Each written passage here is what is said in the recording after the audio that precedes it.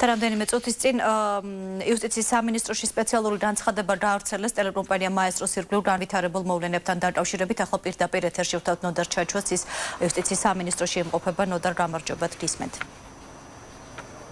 დიახსოფო განცხადება სულ ცოტა ხნის წინ გაკეთდა. თავარ პროკურატურაში ანტიკორუფციული განყოფილების დეპარტამენტის ხელმძღვანელმა გააკეთა ჟურნალისტებთან კომენტარი და ისაუბრა ას იმ მიზეზებზე თუ რის თუ რის საფუძველზე იქნა დაყადაღებული ტელეკომპანია მაესტრო სატელიტური თებშები როგორც განცხადებაშია მის მიერ გაკეთებულ განცხადებაშია ნათქვამი.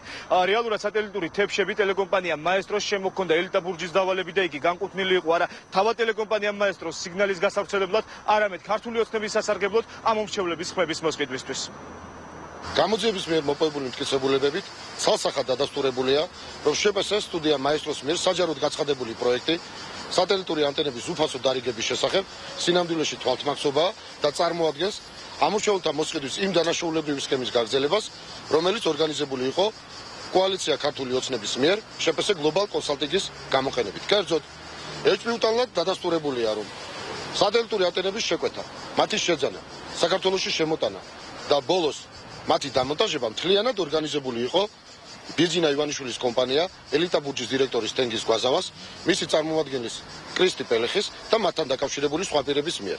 რაც შეეხება სტუდია მაესტროს მას ამ პროცესთან მხოლოდ ფორმალური შემხებლობა გააჩნდა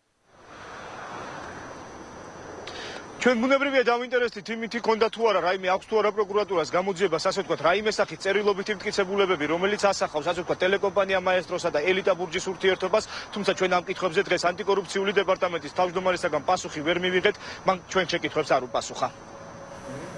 დიდი მადლობა. პირდაპირ ეთერში ნოდარ ჩაჩუა საუბრობდა